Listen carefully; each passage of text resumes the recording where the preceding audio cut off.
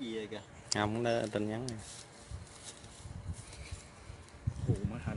Trời trời chị tiếng ơi em nhị chứ không phải thằng giang. À kìa. Vợ con đó. Phải em cái rô mà.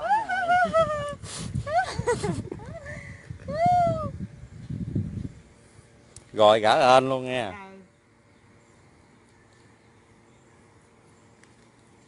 quá trời cá rồi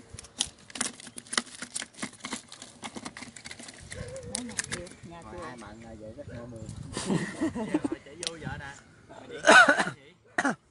Giang mà thấy này Giang không chạy vô mới lạ đó vô coi chưa mày chia sẻ